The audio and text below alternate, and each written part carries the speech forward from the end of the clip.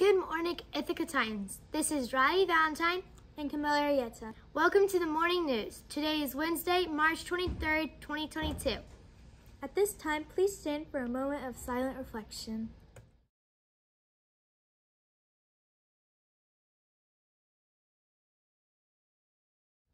Please remain standing for the pledge. Today we have Miss Culberson's class helping us with the pledge.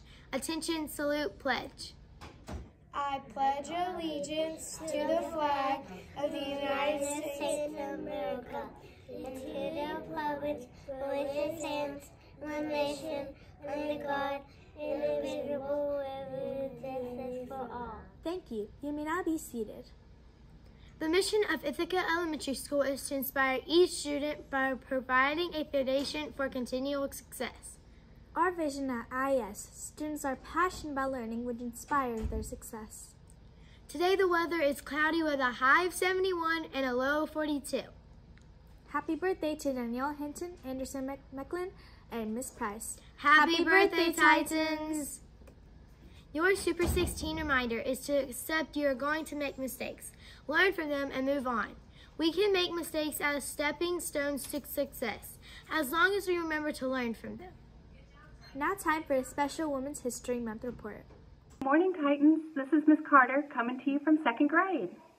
I want to take a moment to talk to you about Dr. Jane Goodall. Dr. Jane Goodall is best known as a scientist that studies animal behavior in their natural habitats. She is famous for her work with chimpanzees in the wild. Her research allowed us to understand more about their lives. During her research, Dr. Goodall discovered that chimps use tools, they're meat eaters, and show many emotions like anger, joy, and sadness. Thank you for listening to a moment about Dr. Jane Goodall.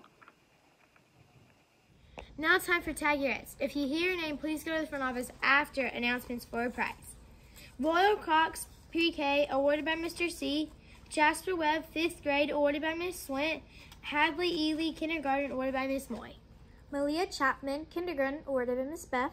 Reggie, 5th grade, awarded by Ms. Brown. Jennifer, 3rd grade, awarded by Ms. Jarrett. Remember, at Ithaca, we use our heads to show you responsible, our hearts to show you respectful, and our hands for positive action. This has been our Titan News crew. Have a wonderful Wednesday. It's go time and we are it.